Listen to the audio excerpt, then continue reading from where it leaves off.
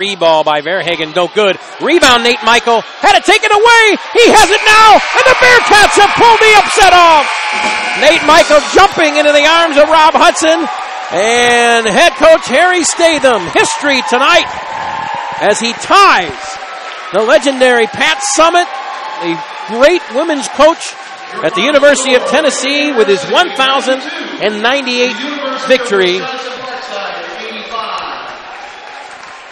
92-85, the upset win. How about that? And boy, I tell you what, wouldn't have expected it coming into the night the way Parkside's been playing, and after two really tough losses for the Bears, really three tough losses in a row. You go back to the Rockers game when they let get away, and to come out here and beat this great Parkside team, what a win and what a memorable one for number 1098 for head coach Harry Statham. Yeah, it really shows the character of this team to, to come back after three three games that you kind of let slip away down the stretch. Didn't really execute as well as they needed to in those three games. And tonight they, they came out and shot the lights out uh, at the beginning of this second half. Were able to get that lead and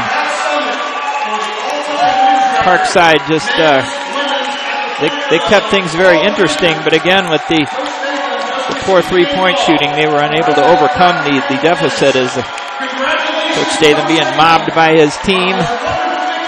Got to be a sense of relief for him. Yeah, absolutely. Have this milestone win. Of course, he's coached.